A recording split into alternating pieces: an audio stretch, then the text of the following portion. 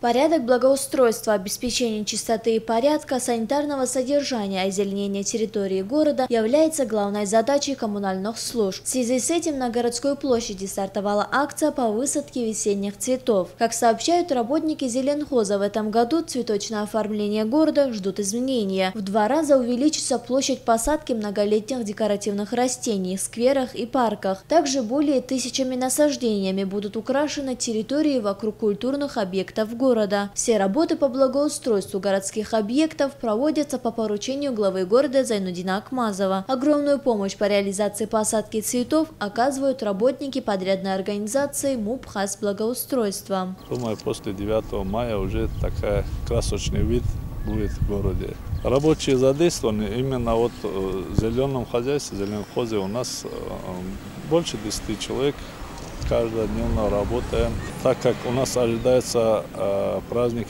День Победы, и э, поэтому мы без выходных, без праздников проводим работы с утра до вечера ну, налажена работа такой, этот, нехватки кадров, нехватки средств у нас нету. Понаблюдать за ходом работы коммунальных служб по высадке цветов прибыл глава города Зайнудин Акмазов. До наступления 9 мая в городе проделывается значительная работа по благоустройству и озеленению всех культурных объектов Хасавюрта. Помимо посадки цветов на территории площади имени Батыр Мурзаева, также работы проводятся на холме воинской славы вокруг мемориала танк, воздвигнутый герою Советского Союза Эльмурзия Джумагулову на скверах и парках города. Ежегодно работы подобного рода проводятся для поддержания порядка и надлежащего вида городских достопримечательностей, отметили работники управления коммунального хозяйства. Бурлия Цамбиева, Самат Гакаев, информационная программа «Пульс».